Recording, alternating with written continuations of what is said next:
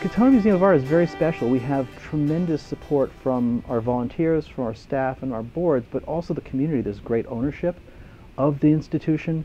Uh, I really feel that we are the cultural hub of this community. The best of art in a way that you could walk in, that could be part of your community, was, was always part of the mission. You can begin taking your children here, carrying them in here, and they can carry their grandkids in here.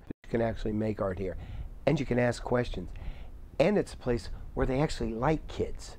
If parents and community members could see what most schools are up against, they would build shrines to this museum. Communication is an important part of what our Thinking Through Art project is really about. I, I believe that we're teaching kids through learning how to write and learning some of the strategies of writing, we're teaching them ultimately how to think and how to be lifelong learners.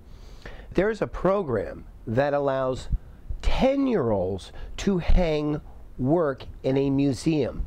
I hang work in galleries. I am never going to have a painting in a museum, ever. This is miraculous.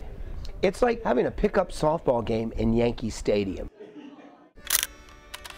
This is the most generous organization I have ever worked for.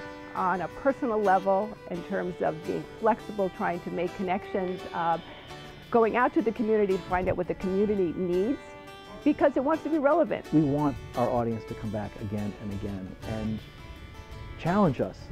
It's the full circle. It's communication. Finally, it comes together, and it comes together right here.